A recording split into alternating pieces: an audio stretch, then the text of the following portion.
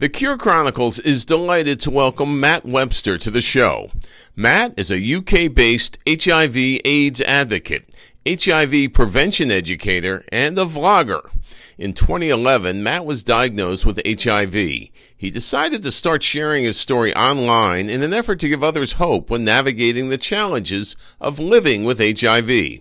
Today, Matt is dedicated to using his knowledge, experience, and acceptance of his HIV status to help challenge misunderstandings and stigma around HIV through social media, volunteering, and having open conversations. Matt, I'd like to thank you for joining me on the Cure Chronicles today. Hi Jeff, it's uh, it's really nice to meet you, and thank you so much for inviting me to take part in this. It's really yeah, really exciting thing for me to do.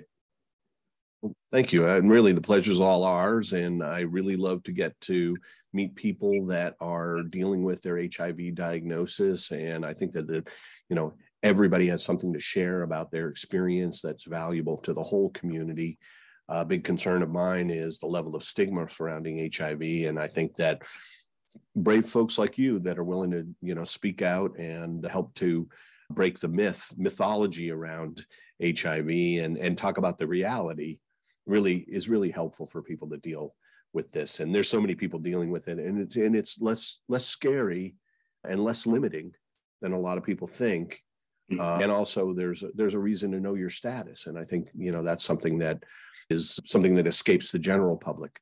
But you know, let's start with you. And you know, the, I understand that you were diagnosed in in 2011 for the uh, having HIV. What was your situation at that point? Were you having some sort of symptoms of of the disease, or was it just coincidental that you happened to find out?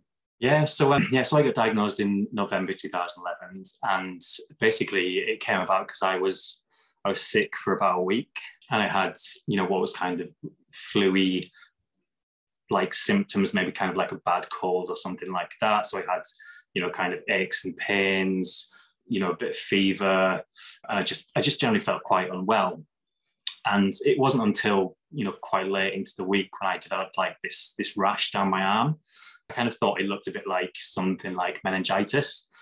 So I was kind of, you know, that's kind of when the worry started. You know, at first I wasn't gonna, you know, worry too much. It was like, got a cold or I've got a flu or just kind of, you know, right. have, have, some Lemsip and get through it really. Right, but, right. We all get, we all get them, right? Yeah. We just suffer yeah. for 10 days or whatever and then we're fine, right? Yeah, yeah, that's it, exactly. And uh, yeah, but when I got the rash, I was kind of like, you know, this is this is something else going on. I, I wonder what's going on. So I immediately went to my uh, GP, who kind of you know checked me over and just did a few quick tests and things like that. And, and she was like, you know, this does look like meningitis, so I'm going to get you straight into hospital.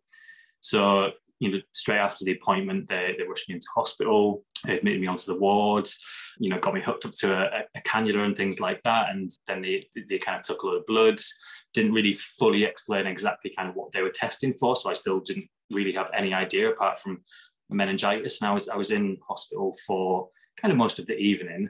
I got a nice little meal when I was there, and then they discharged me. Said it's, it's not meningitis, but we'll you know we'll run these tests and we'll kind of get back to you and yeah and, and, and let you know what you know what what it is, what's happened. And I think it was about a week or two after being discharged that I got a call asking me to to go back into the hospital. And at that point, it was the I think it was the tropical or the infectious diseases clinic. So at that point, then you kind of the brain was was over overrunning then, and I was kind of wondering, you know, what have I got? What's what's going on? So I went into yeah, into into my appointment and got my results, and, and they just explained that it was asked if I'd been tested for HIV before, and I, and I you know I hadn't because it was only I'd only come out as gay about eight months ish beforehand. So I didn't really know a huge amount amount about it. I didn't really know much about testing or you know even STI testing at that point. So I hadn't ever thought of you know getting tested. And yeah, he kind of broke the news to me that one of the tests that they'd run as part of the uh, part of my admission into hospital was for HIV, and then the result come back positive at that point. Yeah, so it actually sounds you know not that dissimilar to you know a large part of the population they do find it that way because they they don't test even if they think there's some possibility of exposure and i think anybody that's sexually active you know has some level of potential exposure after that, basically, you had a little bit of time to think about this before you start getting into advocacy. Because my my understanding is that you started making videos around 2020. Can you tell us a little bit about you know uh, what motivated you to do that, and and tell us a little bit about the kind of advocacy or the kind of information that you were putting out?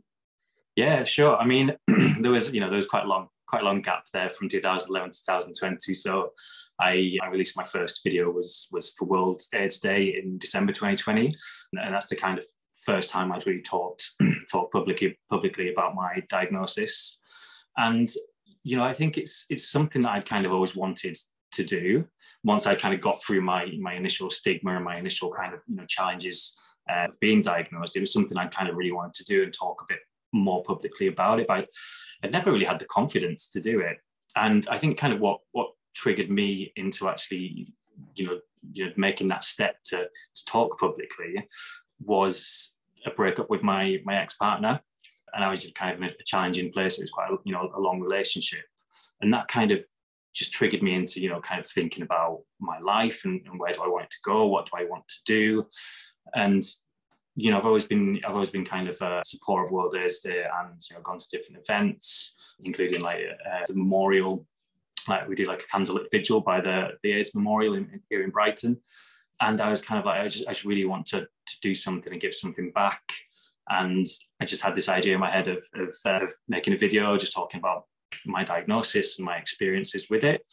In you know, I didn't have many kind of expectations for it. I just kind of wanted to just share my experience and just hope that maybe even just just one person would see it and kind of you know realize that you know living with hiv isn't such a such a you know life destroying thing really Oh, I think that's a great theme. And we hear that a lot on the Cure Chronicles that, you know, once people really get an opportunity to think about it, and sometimes when they, you know, sometimes they have to be a little bit bold or, or, or, you know, sort of take a leap of faith and start to share their diagnosis with others and to see where their support system is, that they find out that, you know, living with HIV isn't that different than li- living without HIV.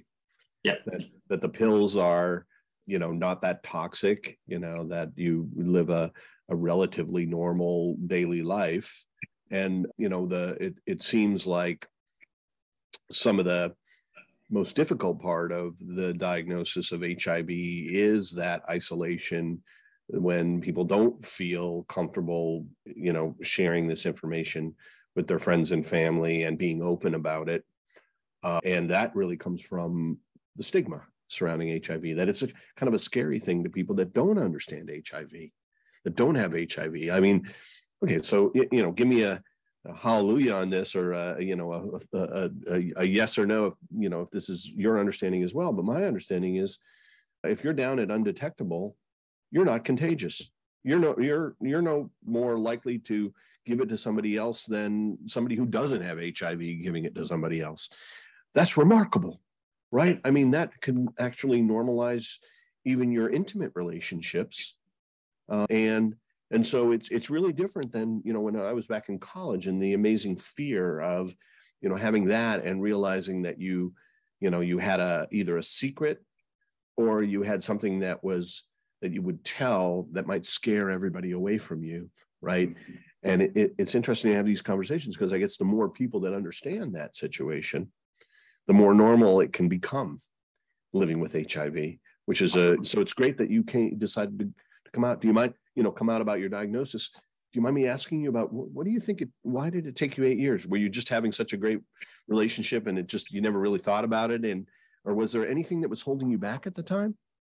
That's, that's a good question. It's it's difficult to kind of really pinpoint exactly what it was that that stopped me, whether it's the kind of you know just just my own kind of personal confidence and kind of you know being in the in, in a relationship and uh, you know just just going through the, the kind of normal day-to-day life.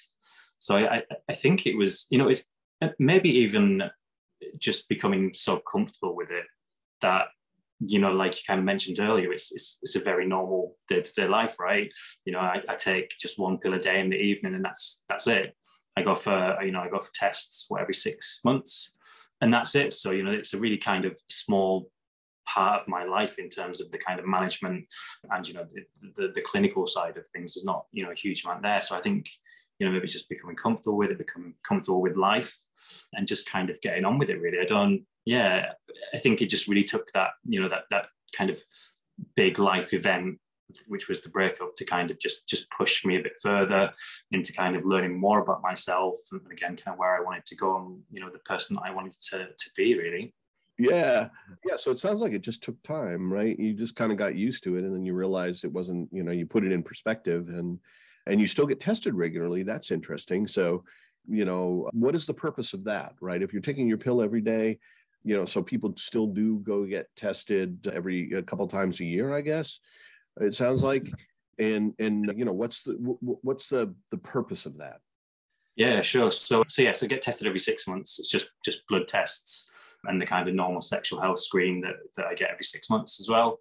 So the, the test uh, so here in the uk they used to test the cd4 count which is the is the white blood cell count in your body. Now they don't redo that anymore unless your viral load changes so that's another thing the test is for viral load, which is the amount of virus that's in your blood. And they also check for, for things like, you know, liver, you know, liver condition, things like that. You know, although the meds aren't as toxic as they used to be, you know, there can still be a bit of an effect on your body. So, you know, checking creatinine levels, things like that, just to kind of, you know, make sure everything's in check and just, you know, general kind of, you know, health checks and, you know, once a year they check my weight, my blood pressure, and just keep a really good, you know, a good eye on things. There was actually, I recently saw some research that was talking about people with HIV being diagnosed with certain things earlier than, than people that don't live with HIV. And actually the kind of, the result of that was that because people living with HIV get tested more frequently and get checked on more frequently, then, you know, a lot of these things are found earlier in people living with HIV than people that don't live with HIV, just because of the you know the, the kind of routine testing every six months, really. It's amazing because as you were talking about how you take you know normal management of your health, it made me realize you're doing a better job monitoring your health than I'm doing monitoring my health. I think that is great and that makes perfect sense that you know you're getting these checkups and that's driven a little bit by the fact that you can potentially get some toxicities that are quite rare and then i guess they just would adjust your drugs in that case. So it's not like that's a big deal. They they your liver some liver enzymes are off and they're like hey, why don't you go on this version of it instead and yeah. and adjust it? And it, it still works the same way right? Because your viral load is so low that you're considered undetectable right? Yeah that's it. Yeah i mean you know there's, there's times when you know things start to go a little bit wrong and they can you know change change the treatment change the meds. You know myself i so i started taking Atripla when i so basically when i when i got diagnosed you didn't used to start taking treatment straight away. You used to wait until your cd4 count started to drop when it sort of when it was kind of slowly going down or it was below 350 that at that point was when they would start treatment so when I started treating, which is about three years after I got diagnosed, I started on a pill called Atripla, which was quite quite strong at the time. I had quite a few side effects from it, and you know, not everyone does. It's quite a, you know a rare you know a, a rare experience to have some side effects from it. And I think I was on Atripla for about six to eight months before they changed me across to Stribild, um, which is what I take now, and I've taken ever since, and I've had absolutely no problems with it. So yeah, you know, when things start to kind of go a little bit awry, then you know they can they can change the they can change the meds and and just kind of get things you know back on track. You know, occasionally you'll have like you know spike in your viral loads, and you know just you know going every six months is just a really good way that they can keep an eye on things, make sure everything's going smoothly, and yeah, that everything is, is being kept in check. And, and how invasive is a HIV test?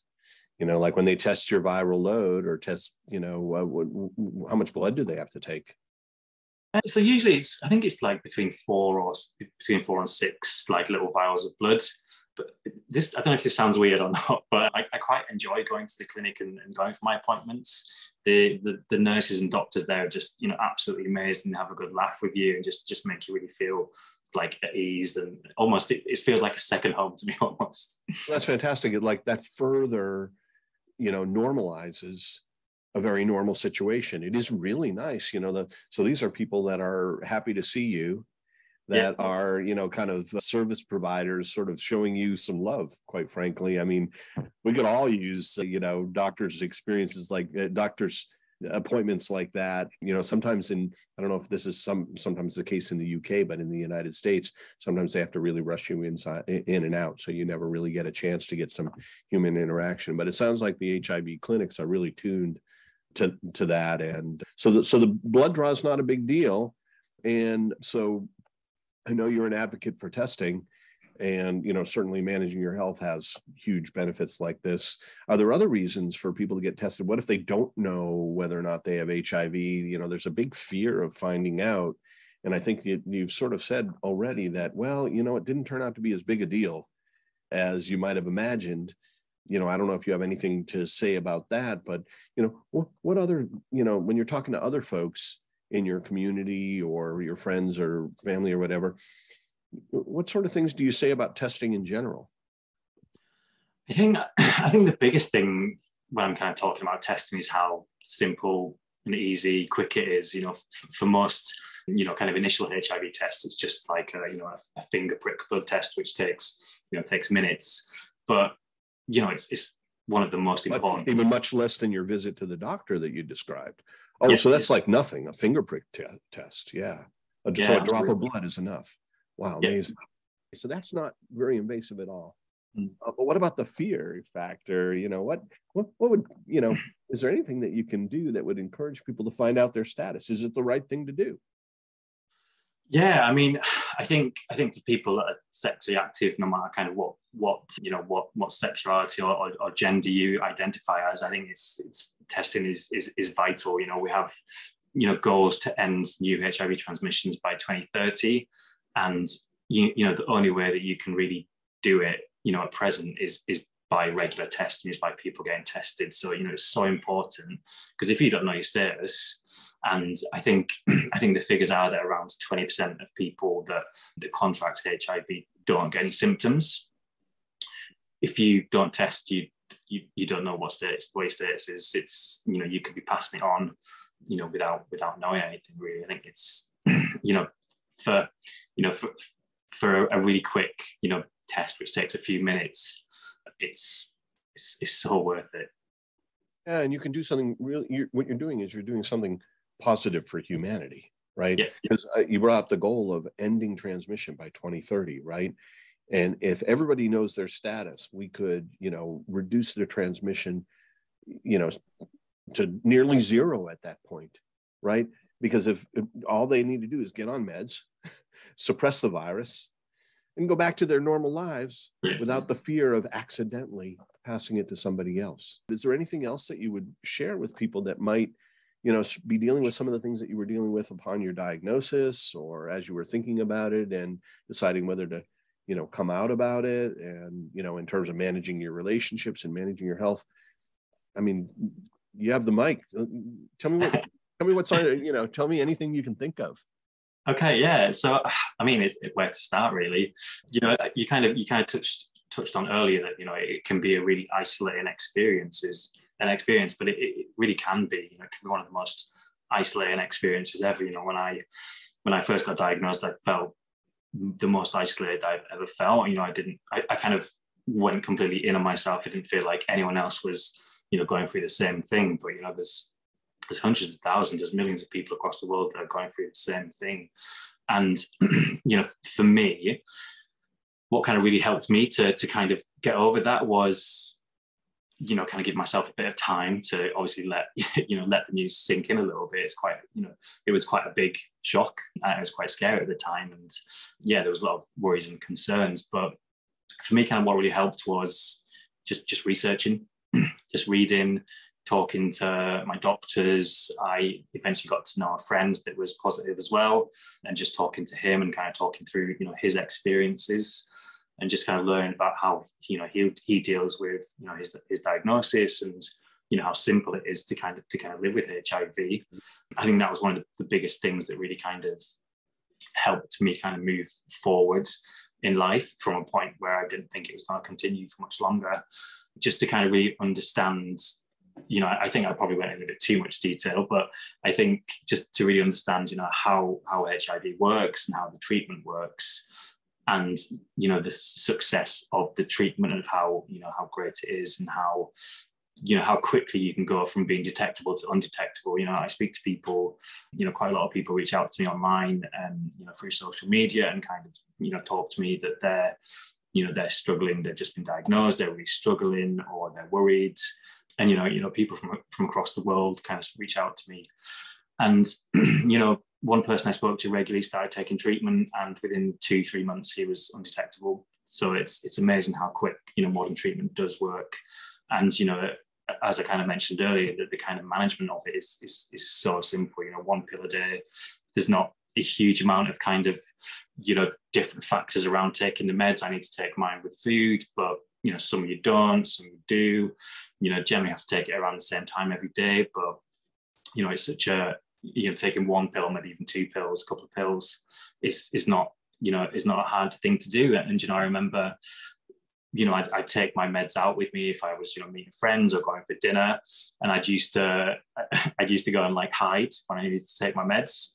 Um, yeah. Because obviously I need to take it with food. So if I was kind of out around dinner time, then I'd go and hide somewhere or kind of, you know, take it on the sly without people people noticing. This was before I kind of started talking publicly. But, you know, now again, just kind of from talking to people from you know understanding more and more about you know how hiv works and you know the the kind of the, the, prognosis which is which is absolutely fantastic now just now i don't care. I'll just kind of get it out and i'll take my pill and you know with everyone might even start might even start a good conversation when you yeah, think about it, it, right? Because i was just thinking listening to you and you were saying that you met somebody who was going through the same thing and you got a you know I got a chance to discuss it with with him you know how do you broach that subject at first right? Did, did that person just mention it to you and you and then you were like well, i guess i can admit it to him as well and then you had a great conversation or you know did you actually search around for somebody to talk to and?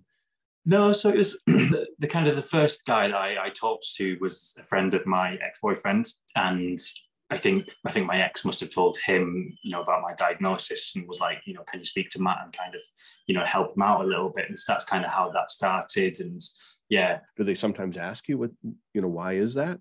Why are you taking a pill? And to be honest, no, because I've usually kind of told them about it before. You know, if I'm if I'm taking it around friends, you know, I, I can't think of a friend of mine that doesn't know about my status. So yeah, I, that's cool, kind of, and it's and yeah. it's just like yeah. So there's a there within your local community. It sounds like there's zero stigma surrounding this. Yeah, and that's that's an interesting point actually. There's there's there's so in my you know circles there's there's little to no stigma. That I mean, there was when I kind of first was diagnosed, first started talking about HIV. You know, and I'm not saying you know stigma is in a really kind of bad negative thing. It's just people that don't necessarily understand or understand now how HIV works and you know what the prognosis is like now. But yeah, there was you know some challenges to go through in kind of telling people and then having to kind of you know almost feel like I needed to back myself up and say, listen, you know, actually it's not it's not a thing, don't worry. I mean, that's the kind of you know minority of, of times really. Most most of the people I've talked to have been really good about it. It's, it's more kind of in it's been in my head and I've been kind of worried and like what people going to think of me when they find this out and what people going to say about it and will they start talking behind my back and you know will I lose friends over it but you know fortunately nothing nothing like that's happened so it's been really yeah really positive experience you know that's really another thought that I have listening to you is that one of the things that you did is you decided to understand how HIV works and to get more you know sort of almost like scientific details about it and that that gave you more confidence in in speaking to people about it which i think is a good thing. So you know at least you knew what you were talking about if they had a question which is you know that's that's great. I, I, wonder is that something anybody can do or do you just have a knack for it? Because the other thing that struck me is that you looked at a rash on your arm and thought that maybe you had meningitis and i'm like how many people would know what meningitis looks like? Did you go to the internet looking at rashes until you were like oh there's the one i have on my arm. Looks like because then you went down to the clinic and they were like yeah it does look like meningitis. Come on in. Yeah. was just impressive. Was, are you a doctor what's the story? No, I know I, am not. I'm not in any medical profession. Profession. I work. I work in HR, so it's yeah, obviously very different. Yeah, I mean, do you know, it's, it's it's weird because I remember you know growing up in school and, and you know watching TV and seeing we used to have like you know public information adverts about meningitis where they'd say you know if you've got a rash and you kind of roll a glass you know press a glass against it if the rash doesn't disappear it's you know possibly meningitis and i, I remember that yeah i don't know. It's just it's, it's a kind of memory that, that stuck with me. I don't, I don't know why it kind of stuck in my head from yeah from, from being a kid but yeah and, and, and interestingly you know where there was that much education on and this is probably going off on a, on a complete tangent here but where there was that much information about you know things like meningitis there was never the same around hiv or sexual health. It was such you know a, a taboo subject you know growing up. And yeah. you know, you know, like I kind of touched on earlier, I didn't know anything about HIV when I got diagnosed, apart from, you know, apart from what I'd seen and heard, you know, growing up, and you know, people were, you know, obviously getting really ill and, and, and unfortunately dying from, you know, from HIV, from from AIDS. And so it was only those kind of stigmatizing views that I had in my own head at that point. Nothing kind of positive or, you know, constructive was in my head. It was just a kind of, yeah, this is the most awful thing that's ever happened kind of thing.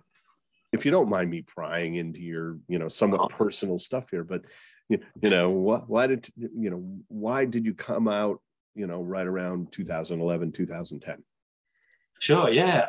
So I, I, I've known that I was gay since I was about nine years old. So I was born in 86. I'd always known it. But you know, kind of where, so I'm, I'm not originally from Brighton here in the UK. I, I used to come from the Lake District, which is a little bit further up north in a, in a really kind of small, small village. And it was, I think, I think mainly just the kind of worry about, you know, people's views on it and, you know, being scared of, of actually coming out and just, just not being ready to, to kind of make that, that leap.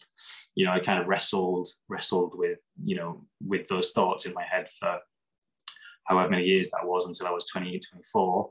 And, you know, the, the, there's so many times where, you know, I, I went to uni in the, in the northeast of England and I didn't didn't come out there, even though I kind of knew, you know, some some other people that were gay as well, and had some kind of mutual some friends that were, you know, friends of friends that were gay. But I never kind of felt right to do it un, un, until that point. And you know, when I left uni, I moved back to my parents and I, I kind of moved with the thought in my head that I'm gonna you know ignore these gay thoughts. I'm gonna i'm gonna be straight. I'm gonna find a girlfriend. I'm gonna have a family. I'm gonna live happily ever after. But as, as time went by i just realized that that's that's not what it is. You can't i can't just change it, it. That's me. And kind of once you know i'd realized that you know it, it was time time to do it. And you know I, I, it felt right at that point to do it. I was in a good place in my life and i was you know, making lots of new friends. And, you know, I was like, this is, this is time to, time to do it. And then, yeah, then about, I think about four or five months after I came out, I moved down to Brighton, which is a lot more accepting, a lot more friendly than, than where I was previously. But you still did it where you were in the less gay friendly environment. And was it as bad as you thought it was going to be when it became open? Yeah. So it was another experience that you had where you took a brave leap of faith and and it worked out. Yeah very interesting. Well look i i you know that's I, I think you know a really interesting part of your backstory as well. And i really appreciate you sharing that with me. Anyway this has been a great conversation. I really enjoyed it. Uh, yeah i hope other folks listening in got a chance to get to know a little bit about you and enjoyed your story as well. I'm sure they did. So thank you so much for being with me today no, thank you. Jim. We'll see you again sometime. Absolutely. Yeah. Thanks so much for yeah for having me on. It's been been amazing. Thank you.